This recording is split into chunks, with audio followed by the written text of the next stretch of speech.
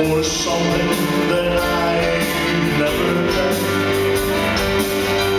It's been one here.